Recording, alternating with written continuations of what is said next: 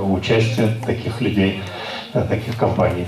И надеюсь, что и польза от этого есть тоже участникам. Далее мне хотелось бы пригласить к разговору Анатолия Федоровича Левищука. Это глава крестьянско-фермерского хозяйства из Зерноградского района. И он член сельскохозяйственного потребительского перерабатывающего кооператива «Донской маяк». Э, вот э, здесь э, участвует в нашем разговоре и председатель этого кооператива Анатолий Анатольевич Железный. Но нам важно, вот, что получает от кооператива рядовой член, фермер – и какую роль он а, играет, что, э, какие у него, э, я не знаю, может быть, обязанности, э, и какое счастье он получает от сотрудничества и от того, что состоит в кооперативе. Пожалуйста.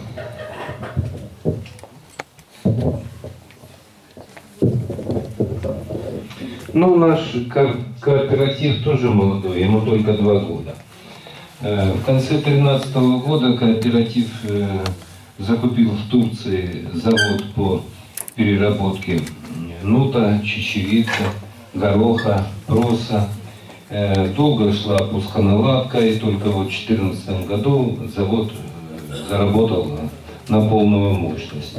Я фермер, а поскольку каждый член кооператива должен работать, меня обязали заниматься семенами, именно поставкой семян и консультациями по производству нута и щепицы.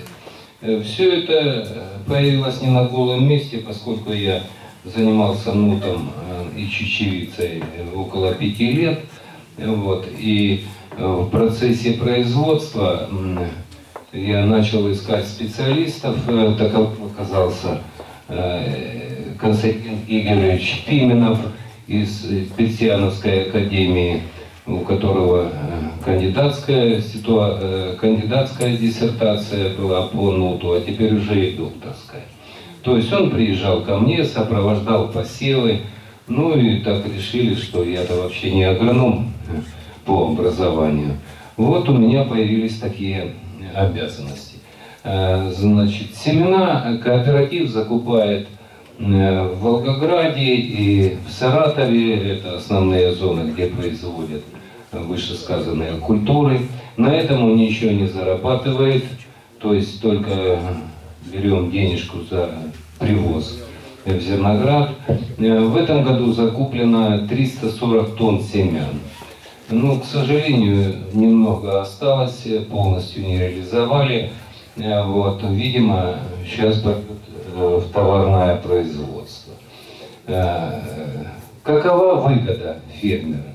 Ну, во-первых, э, как член кооператива э, я могу, взять семена под урожай. Вот. Во-вторых, семена могу подработать свои любые в кооперативе. В-третьих, могу получить предоплату за гарантированную закупку Э, за месяц-два до э, сбора урожая, что немаловажно для фермера. Ну вот, э, в принципе, и все, наверное, я буду краток, поэтому если какие-то вопросы будут. Ну, кооператив, ясно и понятно, что это выгодно. Это однозначно. Вопросы какие-то будут, Анатолий Федорович?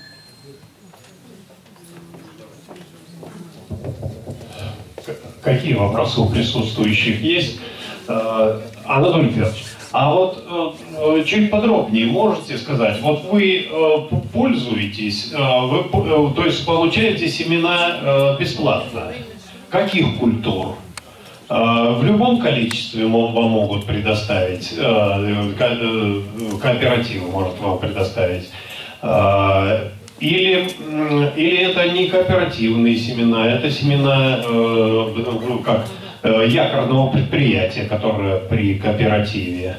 Э, э, вот. Э, и как вы потом рассчитываете за эти семена? Вот эти вот детали очень важны. Но все сидящие в этом зале знают, что бесплатного ничего не бывает. Это однозначно. Вот. Это, значит, я беру э, семена, естественно, по более низкой э, цене из расчета, например, там. Э, семена мы закупаем элиту и э, первую репродукцию. Часть этих семян мы отдаем фермерам, это имеется в виду элиту, и потом получаем от них. Э, значит, э, я сейчас немножко отступлю, скажу о ценах, что те, кто закупает семена в кооперативе, они получают объемную консультацию по, значит, по методическому пособию, которое выпустил Пименов Константин Игоревич. И они же гарантированно сдают Э, по ценам, во всяком случае, она всегда выше, выше чем на юге Руси. Юг Руси тоже, тоже начал заниматься. Вот. Это то, что касается э, цен. То есть я, я беру семена в кооперативе, э, значит, если э, э тонна, за тонну семян я должен там 1,8, 1,6 э, вернуть э, после сбора урожая, что тоже выгодно.